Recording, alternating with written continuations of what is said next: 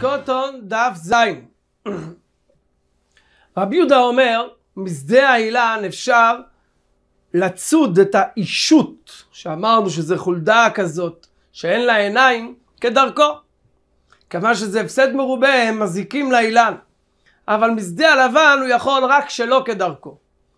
תונו רבונו כיצד כדרכו? חופר גומה ותולה בה מצודה. כיצד שלא כדרכו נועץ שפוד ומכה בקורדום ומרדה האדמה מתחתיה ואז היא נופלת. או שהיא מתה במקום או שזה צורה של צידה משונה. זה מותר. תניא, כתוב בצו, רבי אליעזר בן יעקב אומר כשאמרו משדה לבן שלא כדרכו לא אמרו אלא בשדה לבן הסמוכה לעיר שהם לא כל כך מזיקים ומפסידים את שדה הלבן היינו את התבואה אבל בשדה לבן הסמוכה לשדה האילן אפילו כדרכו מותר שמא יצאו משדה הלבן ויחריבו את האילנות והם יעשו הפסד מרובה. מקרין את הפרצה במועד כך אמר לו במשנה מקרין זה קירוי ארעי כיצד מקרין? רבי יוסף אמר בהוצה ודפנה ענפים של דקל ו... שקולעים אותם. במתנית התנא צר בצרור הוא מניח אבנים מסודר אחד על השני אבל אינו תח בטיט. זה שהוא לא תח אותם בטיט אז זה משאיר את זה רק בצורה ארעית כזאת.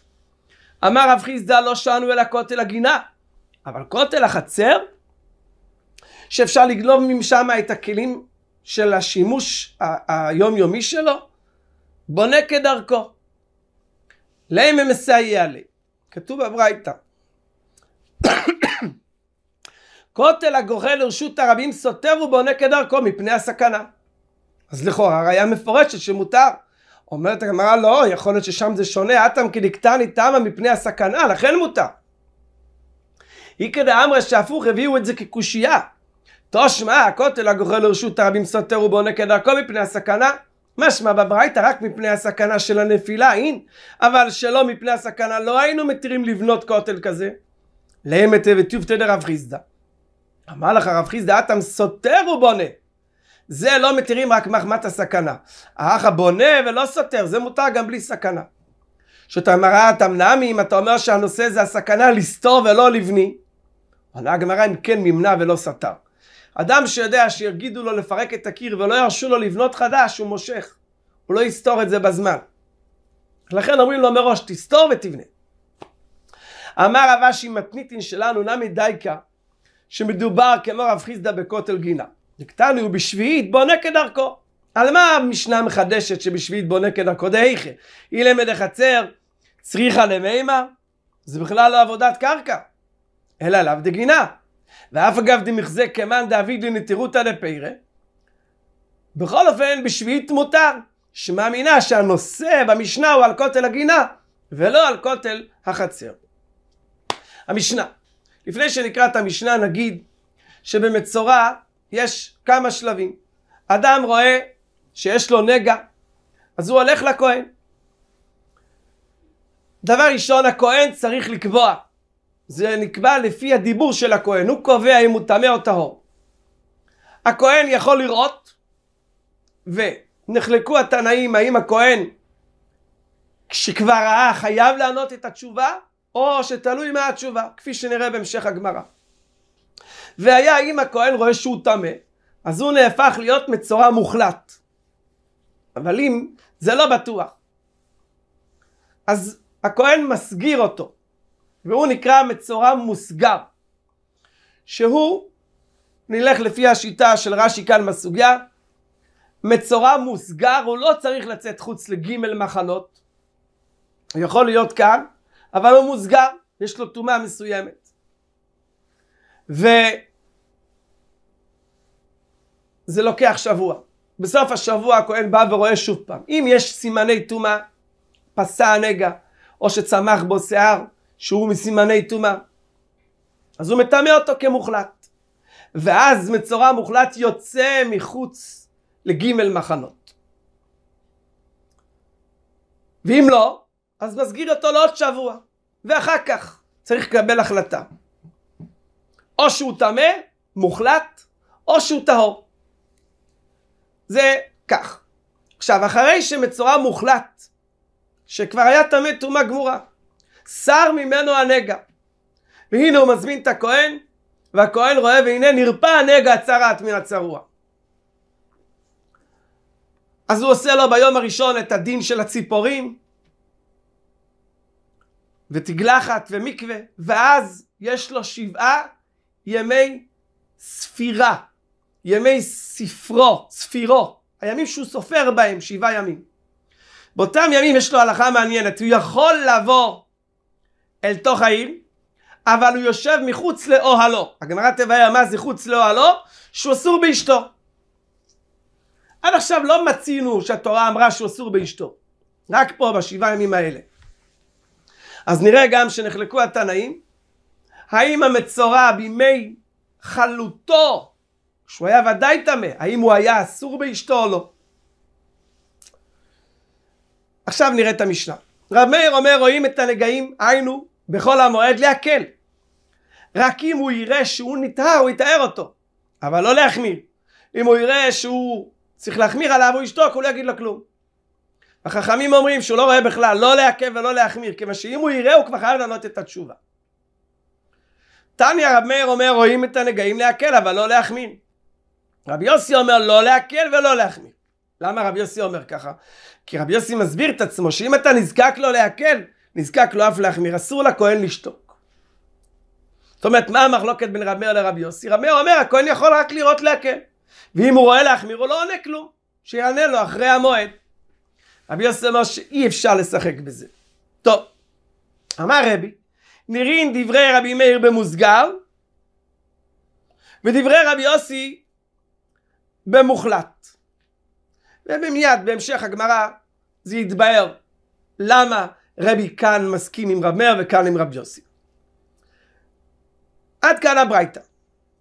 עומר רובה, בטהור, אדם טהור שפתאום יש לו נגע, כולם אלו פליגי דלא חזי ליה, שאין לו שום סיבה ללכת לכהן, הכהן יגיד לו לא מקבל היום קהל, כי כרגע הוא טהור, ולמה, מה, על איזה צד שלא יהיה, הוא יכול לקלקל לו את השמחה, לכן לא יראה אותה במועד.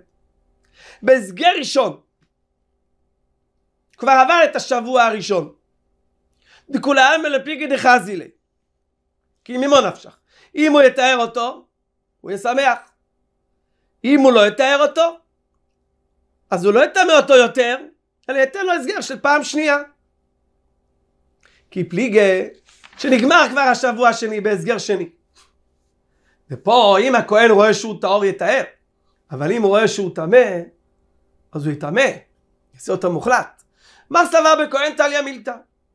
אי טהור אמר לי טהור, ויטמא שתיק, כך סובר רב מאיר. אז מילא יכול להראות, להגיד לו, לראות אם הוא טהור יגיד לו, ואם לא טהור לא יגיד לו. ומר סבר לטהרו לטמאו כתיב הכהן חייב לענות תשובה. טוב, אומר מה? אמר רבי נראים דברי רבי יוסי במוחלט ודברי רב מאיר במוסגר.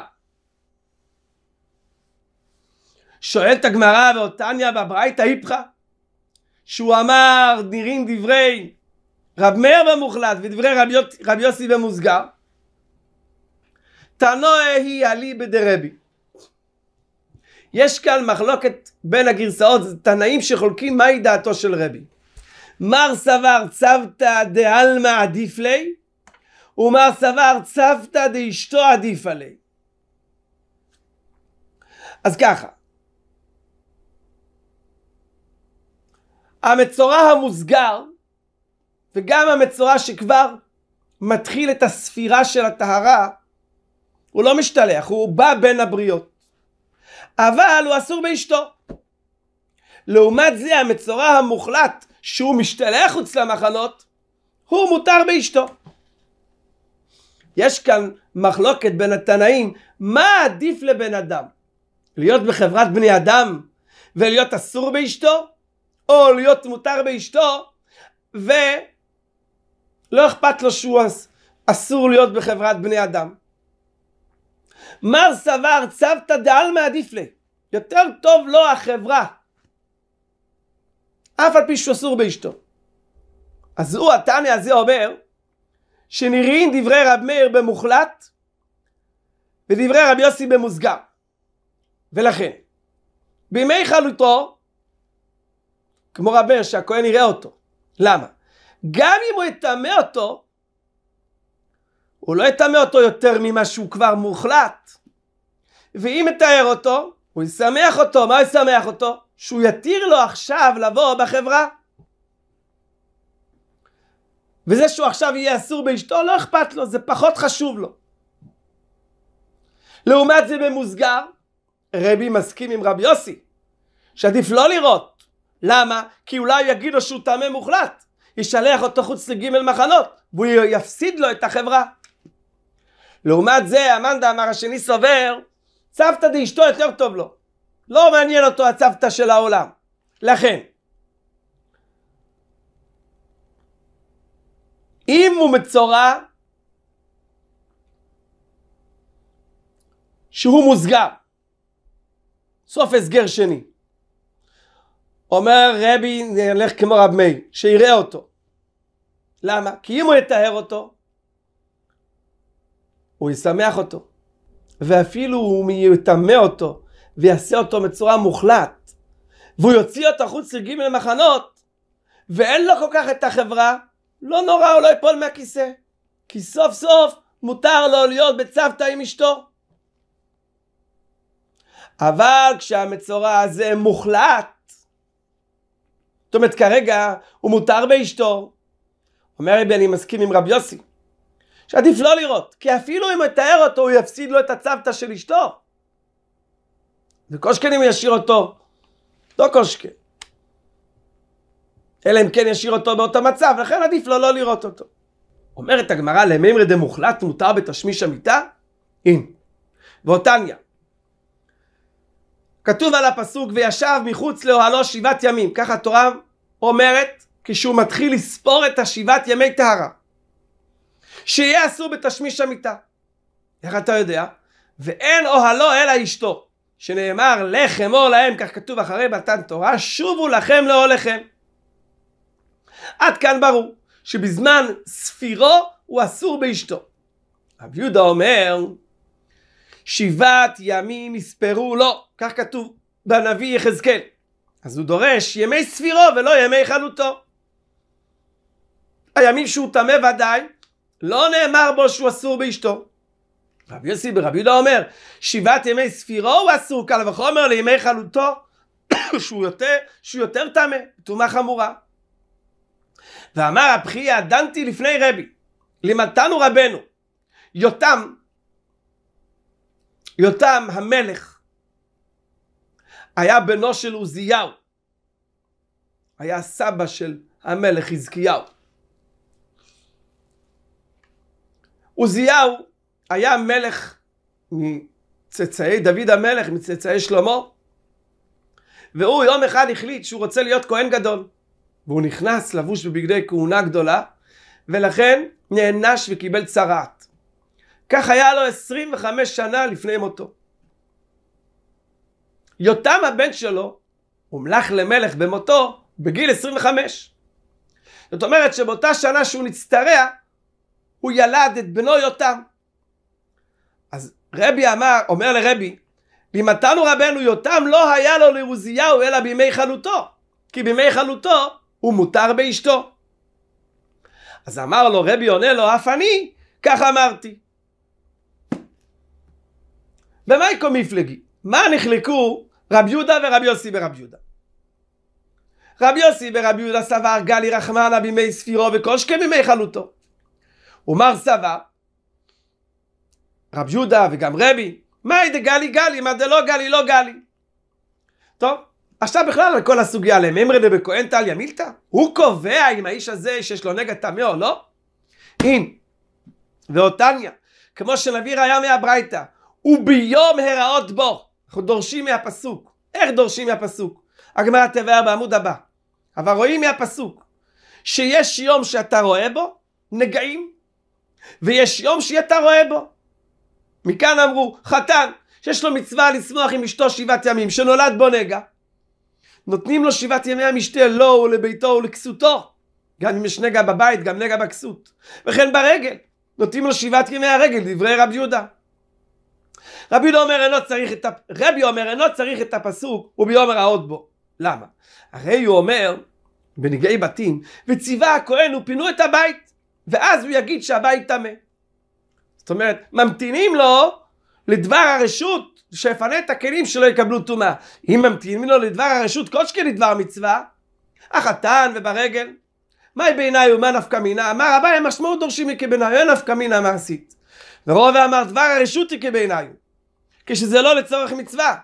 רבי יהודה שדורש מי הוא ביום הרעות בו שיש ימים שאתה לא רואה, היינו ימים שיש בהם קדושה, היינו ענייני מצווה. שבעת ימי המצווה של, ה, של החתן או של הרגל. ולעומת זה רבי שדורש מי הוא ציווה הכהן ופינו אפילו לדבר הרשות.